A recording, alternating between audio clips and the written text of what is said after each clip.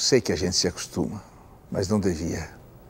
A gente se acostuma a morar em apartamentos de fundos e a não ter outra vista que não as janelas ao redor. E porque não tem vista, a gente logo se acostuma a não olhar para fora. E porque não olha para fora, logo se acostuma a não abrir de todo as cortinas. E porque não abre as cortinas, logo se acostuma a acender cedo a luz. E à medida que se acostuma, esquece o sol, esquece o ar, esquece a amplidão.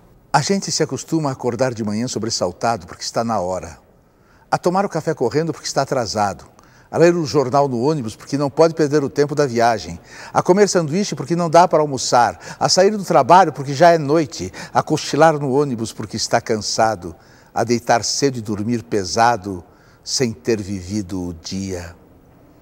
A gente se acostuma a esperar o dia inteiro e ouvir no telefone: Hoje eu não posso ir a sorrir para as pessoas sem receber um sorriso de volta, a ser ignorado quando precisava tanto ser visto.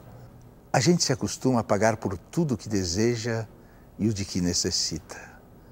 E a lutar para ganhar o dinheiro com que pagar, e a pagar mais do que as coisas valem, e a saber que cada vez pagará mais, e a procurar mais trabalho para ganhar mais dinheiro, para ter com que pagar nas filas em que se cobra.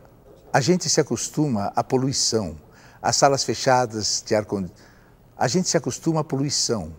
As salas fechadas de ar-condicionado e cheiro de cigarro, a luz artificial de ligeiro tremor, ao choque que os olhos levam na luz natural, as bactérias de água potável.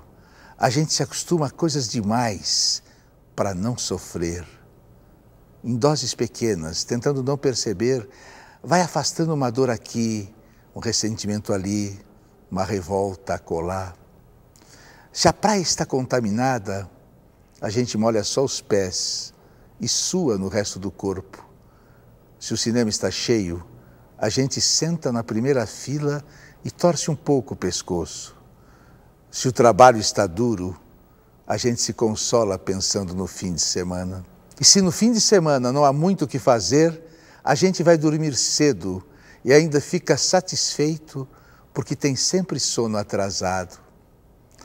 A gente se acostuma para não se ralar na aspereza, para preservar a pele, se acostuma para evitar feridas, sangramentos, para poupar o peito. A gente se acostuma para poupar a vida, que aos poucos se gasta e que gasta de tanto se acostumar e se perde de si mesma.